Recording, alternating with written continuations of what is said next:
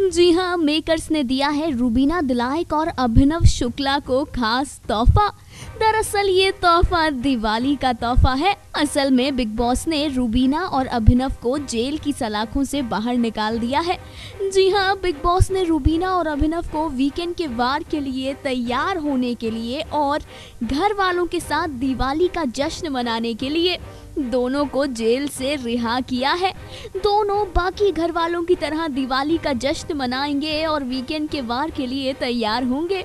Well मानना पड़ेगा। Big boss कभी कभी इतने क्यूट हो जाते हैं कि क्या कहें। Final card entertainment desk